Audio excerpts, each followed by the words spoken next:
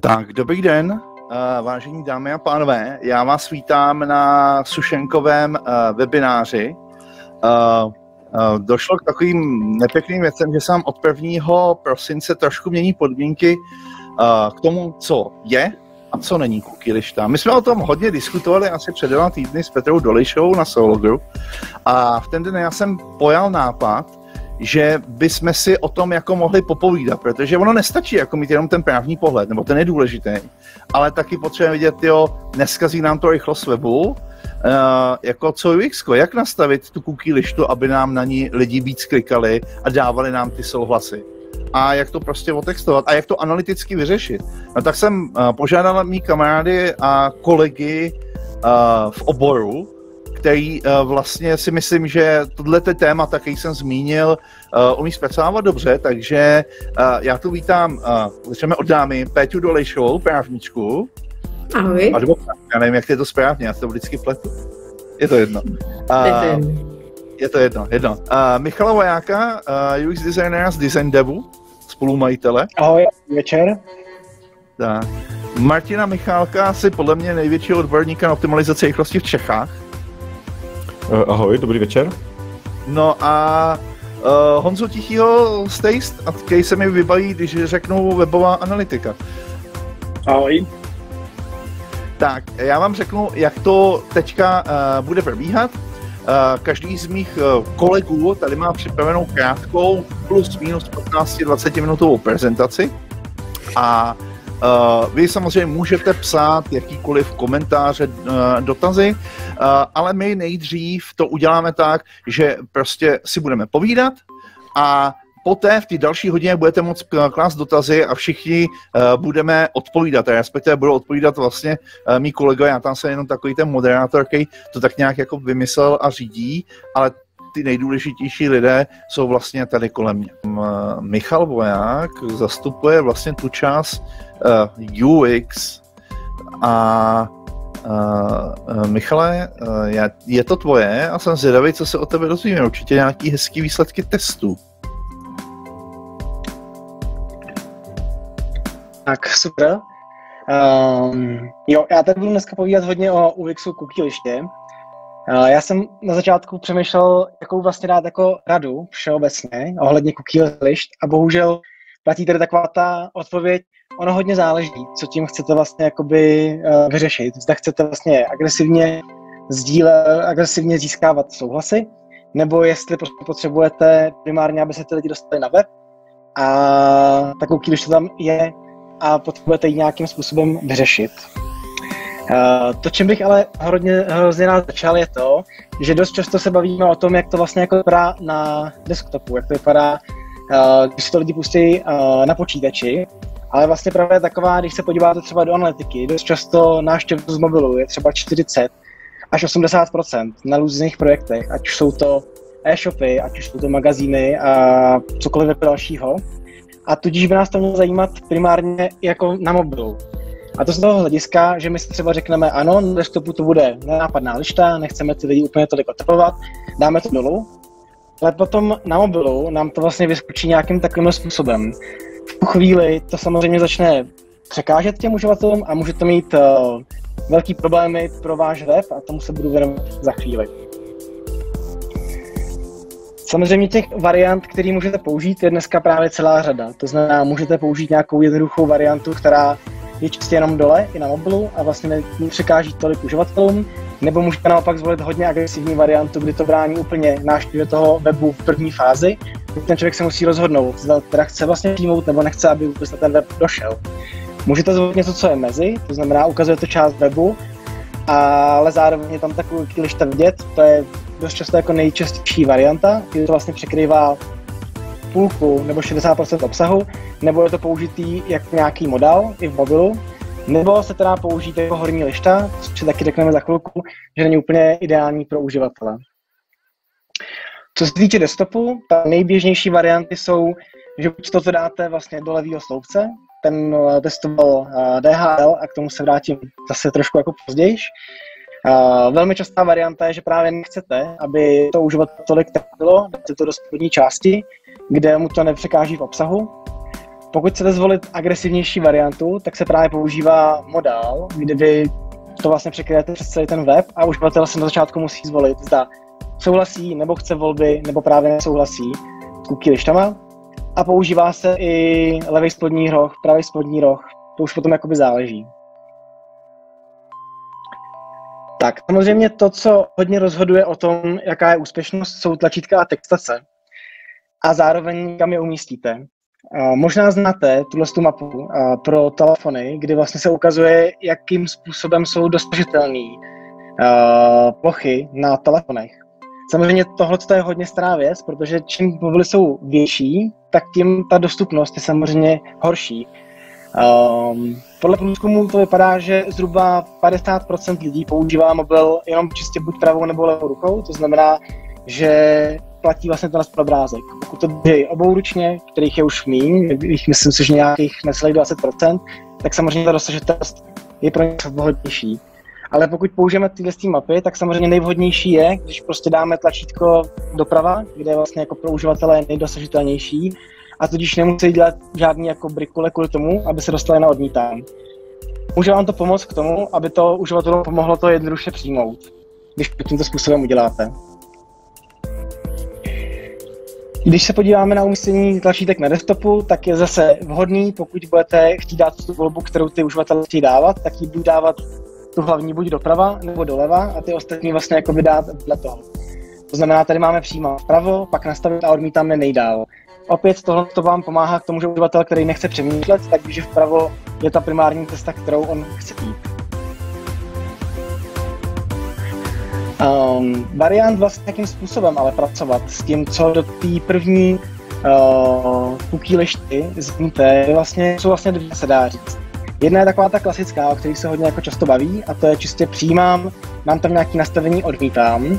Ta druhá, která je trochu komplikovanější, ale v některých případech velmi dobře funguje, je to, že vlastně tam dáváte přijímám a to odmítnutí dáváte tím způsobem, že rovnou ukazujete ty preference těm uživatelům, které jsou samozřejmě nastavený, tak jak říkala Petra, máte nastavený jenom vždy aktivní a pak analytický a marketingový, po případně pokud máte nějaký další, tak tam přidáváte další. A s tím, že vlastně to povolit to nastavení nebo povolit tu volbu, je to odmítnutí, což by taky mělo být v pořádku a může to v některých případech mít pro vás jako velmi dobrý účinky, co se týče sběru těch souhlasů. Ale může to mít i uh, neblahý účinky, k tomu se vrátím trošku později. Co se týká tlačítek, tam máte relativně velkou volbu toho, co právě můžete jako natextovat. Můžete dát, uh, pardon, natextovat ne, ohledně vizuálu. Samozřejmě ideální, ale ne úplně UXově správný je, že když dáte souhlasím, stejně jako nesouhlasím.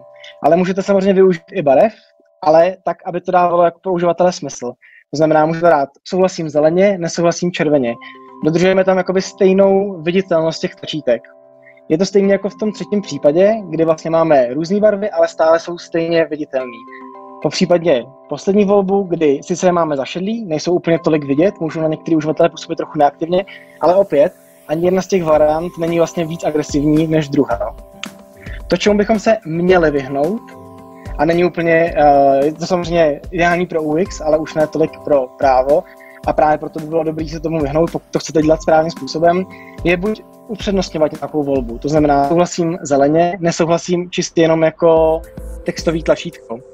Nebo samozřejmě využít uh, obrácený, uh, obrácený ruky. To znamená, souhlasím červeně, nesouhlasím zeleně. V tu chvíli samozřejmě uživatel, který to chce zavřít, tak klikne na červeně, protože si myslí, že to je ne, ale vlastně vy ho matete. To by taky nemělo takhle být. A třetí varianta je právě na kombinování kontrastů. To znamená, souhlasíme kontrastní a nesouhlasím vypadá třeba jako neaktivní. V tu chvíli zase úplně nesplňujeme to, že ty tlačítka by měly mít stejnou váhu. Druhá varianta je právě textace tlačítek. Souhlasíme, souhlasím, můžu říkat přijímám po volbu, jak jsem říkal u té varianty, s tím, kdy nastavím máte rovnou, nebo souhlasím a zavřít. To, čemu opět by se mělo vyhnout, je to trochu takový jako dark pattern, je právě, že řeknete souhlasím je ano, jsem super, nesouhlasím je jsem sobec nechci. To vyvolává samozřejmě emoce a ty to nemusí mít úplně jako uh, cítit z toho dobře. To znamená, tomuhle je dobrý taky vyhnout.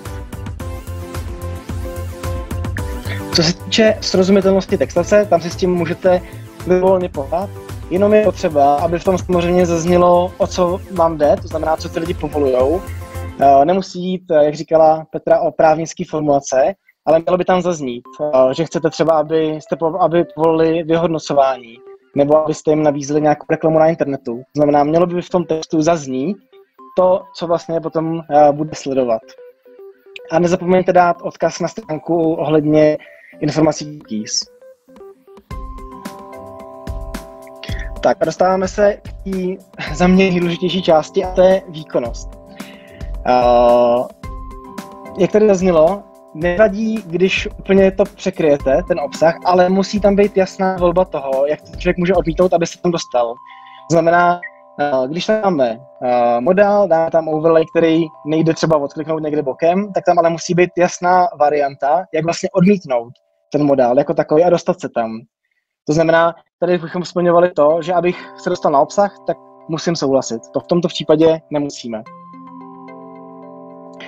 Samozřejmě můžete využít křížek na místo odmítnutí, jenom je potřeba si opravdu rozmyslet, že to ve vašem případě bude fungovat dobře, protože křížek je uh, pattern, je to vlastně nějaká věc, ikonka, kterou uživatelé velmi dobře znají.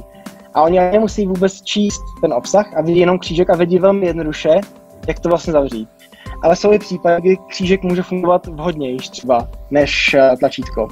Primárně bych vám určitě doporučil nedávat křížek, anebo pokud ano, tak si otestujte, že to bude fungovat líp, než tam dáte textovou variantu, jako je třeba zde. A co se týče overlay, jak jsem to zmínil, můžete použít overlay, to znamená, není problém, abyste ten uživatel dostal. Určitě očekávejte, že lidi budou klikat do toho obsahu a budou chtít, aby tím kliknutím na ten overlay to vlastně zmizelo. A může docházet, my jsme právě to vlastně testovali, a může dokázat, že ty lidi vlastně nevědí, co v tu chvíli mají udělat. A že si myslí, že ten web je aktivní a jenom třeba není tak dobře kontrastní. V tom případě je vhodnější třeba ten overlay trochu stavit, aby jim to bylo jako jasný. Ale zároveň oni budou očekávat to běžné fungování na webu, když klikají mimo to okno, takže se zavírá. Takže tady při takovémhle řešení, to od něho budete nasazovat, očekáváte jako jistou zmatenost uživatelů. Samozřejmě může to být chtěný, protože samozřejmě oni kliknou do overlaye, nic se nebude dělat a pak budou řešit to, co vy jim vlastně nabízíte, buď v nějakém modálu, nebo v tomto případě v levém, uh, v menu. Tak a jak jsem uh, na začátku říkal, na uh, určitě si na začátku musíte rozmyslet, jak moc chcete sbírat souhlasy. Protože můžete zvolit hodně jednoduchou variantu a i počítat s tím, že souhlasu když nezískáte, ale zároveň pro vás nebude žádný problém v tom, že by uživatel přišel na web a nedokázal přečíst obsah. To znamená, pokud je pro vás důležitější, aby lidi se dostali na ten obsah, dostali se na vaše produkty, je lepší zvolit variantu, která není příliš tak agresivní. Pokud ale váš, eh, vaše podnikání stojí na tom, že potřebujete získávat souhlasy a potřebujete, aby opravdu uh, odklikávali, protože třeba na tom běží váš, uh, vaš podnikání ohledně třeba nějakého remarketingu, tak pak prv dává smysl přemýšlet o nějaké agresivní variantě, ať už je to modál, nebo uh, levá lišta s nějakým overlayem, nebo ať už jsou to větší, větší okna v mobilu. A u téhle varianty jenom pozor na jednu věc. Samozřejmě pokud vy znemožníte těm uživatelům přístup ten web jako takový. Může se vám stát, že se ani nedostanou dál. Oni sem přijdou, uvidějí veliký modál a nebudou chtít se rozhodovat nad tím, jestli tam máte nějaký zavřít a, nebo odmítnout cookies a můžu vám začít odcházet. Pokud se tohle bude dít eh, z Google, a tady by mě možná než tu doplnil určitě Pavel, může vám docházet k tomu, že oni přijdou na ten váš web a rychle odejdou, protože nejsou spokojení s tím, co našli. A pokud se tohle bude stávat z Google, z vyhledávání, tak se můžete dostávat negativní body, který váš web potom budou stát samozřejmě nějaký pozice ve vyhledávačích. Tak jenom pozor na to, zda když zvolíte agresivnější variantu, zda vám to vyváží to, že vám to může pohorš- zhoršit výsledky vyhledávání.